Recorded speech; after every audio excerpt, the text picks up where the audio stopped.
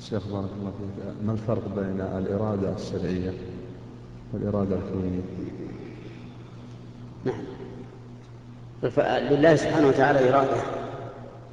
هذه الإرادة تنقسم إلى قسمين إرادة شرعية وإرادة كونية.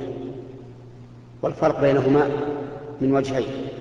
الأول أن الإرادة الكونية تتعلق بالتكوين والخلق. سواء كان مما يحبه الله أو مما لا يحبه الله. وأما الإرادة الشرعية فتتعلق بالشرع وتختص فيما يحبه الله. فلا يريد الله شرعا إلا ما يحبه. والفرق الثاني أن الإرادة الكونية لا بد أن يقع فيها المراد. والإرادة الشرعية قد يقع فيها المراد وقد لا يقع. السلام. ويظهر ذلك في المثال. إذا أراد الله بقوم سوءا قال الله تعالى فلا فلا مرد لا بد أن يكون وإن كان سوءا. الإرادة الشرعية يريد الله بكم اليسر فلا يمكن أن يريد منا شرعا ما هو عسير عليه.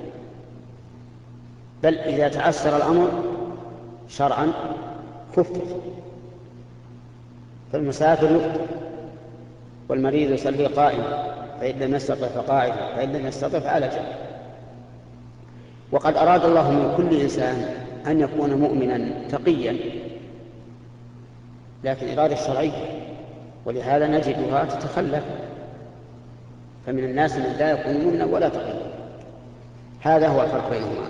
فتلخص الفرق بينهما أن الإرادة الكونية تتعلق بالخلق والتكوين ولا بد فيها من وقوع المراد وأن الإرادة الشرعية تتعلق بالشرع وقد يقع فيها المراد وقد لا يقع.